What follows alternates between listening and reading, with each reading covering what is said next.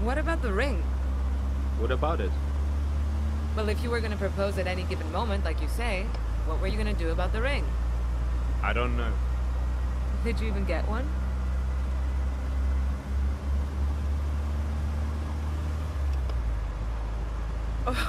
Oh, oh, no, no, no, no, no, no, no.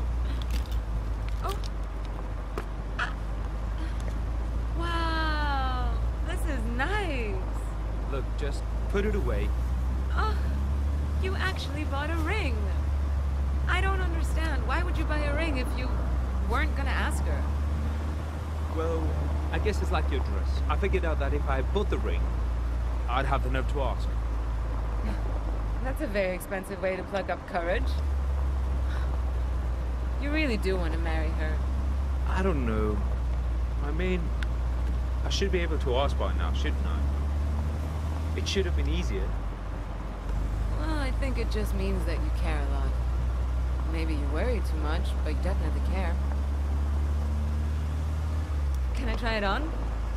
No. Look, just... Oh. Please, put it back. Come on! What are you, superstitious? Oh, seriously?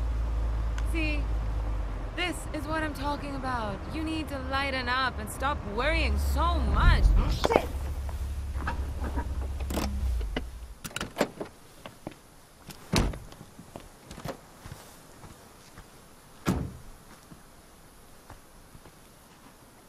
Okay, that was not my fault. What? Just say it. You're unbelievable. You have to be the most irresponsible person I have ever met. Right, let me introduce you to a word. Consequence. Your actions affect other people. You leave your wedding without a word, you have destroyed a man's life, your family must be sick with worry, and you don't seem to care. And who knows what the story with the police is, or Cavo Greco? Is that where the ceremony is? Is it? And now you've lost my ring.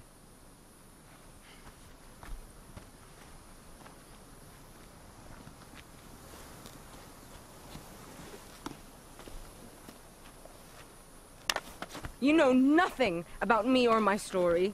And I may do stupid stuff, but at least I'm not so paralyzed by my fear of the future that I don't do anything at all. I'm paralyzed by fear. Yes! Forbid you take a risk or do something strange or out of the ordinary. What are you so afraid of? What's the worst that could happen? This. You. You live in a fantasy world. What you want doesn't exist. People don't just break into dance or magically fall in love or stick around forever.